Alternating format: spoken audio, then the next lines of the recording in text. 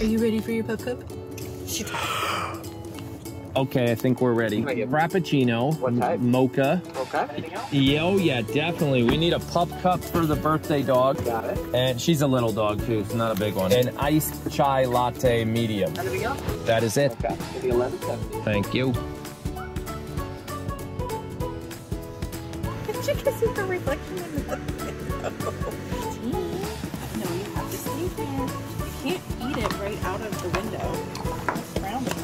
if Dad's got to pay first. She even fit. She got She a flat. got a little nose. She's not gonna fit She's in there. I'll just stuff my face into it. I have no shame. Stella, stay off of that. Stella, no.